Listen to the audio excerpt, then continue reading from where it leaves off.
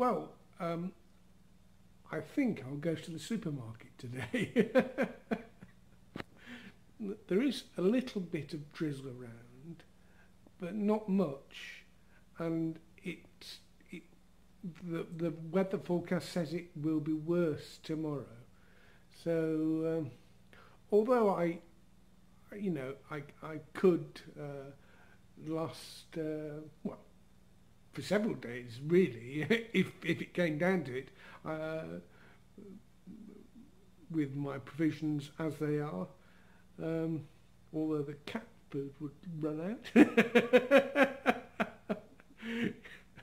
but um, anyway, um, I think I'll go today.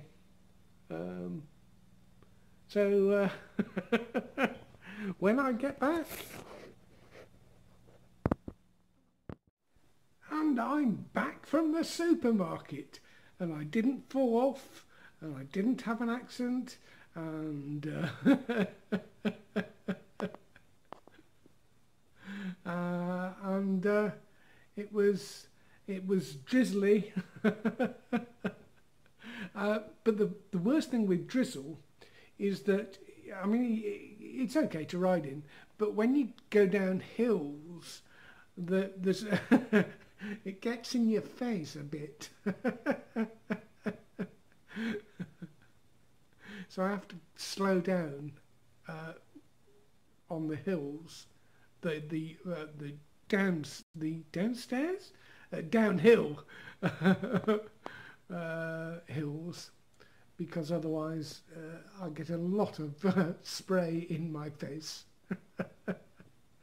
okay, Google, tell me a fact.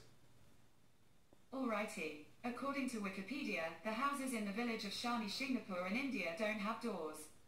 Despite this, no thefts were reported in the village until 2010. Uh, right. well, uh, that's interesting. Until tomorrow then.